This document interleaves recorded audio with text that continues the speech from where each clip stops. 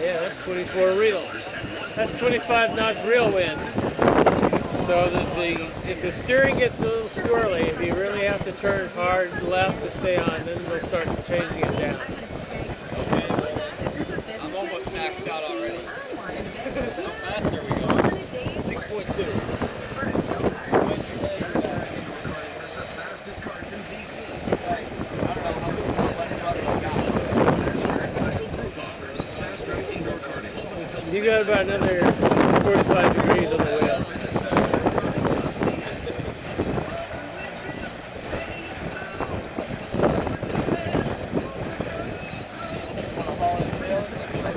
Well, what we'll do is we'll turn up into the wind, not directly dead the sail is flagging, but unload the sails.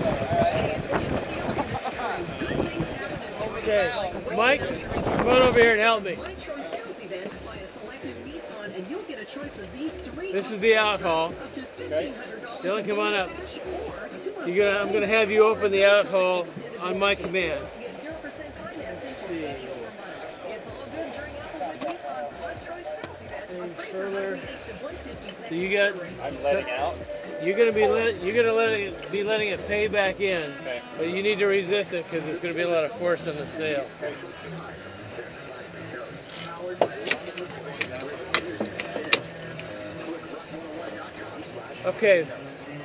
head up, head up into the wind, unload the sail.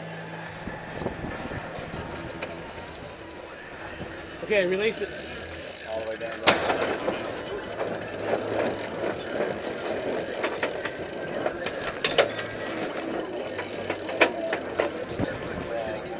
Okay, now we're gonna bring it back out.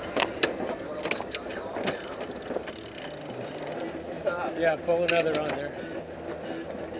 Spoon, and the teeth.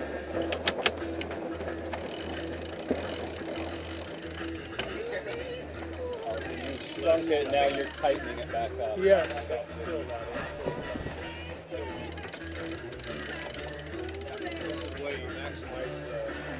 Okay, head off.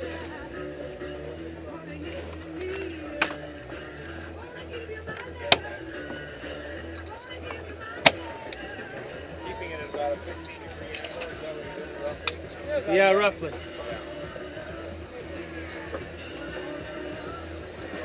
Good. What happens is uh, when the wind gets too strong, more force on the back wants to turn us into the wind. See the white tape on his wheel? That's roughly wheel center. He was holding us on course with this down here. The stronger, if you, don't do anything, you'll run out of rudder and the boat will just turn into the wind.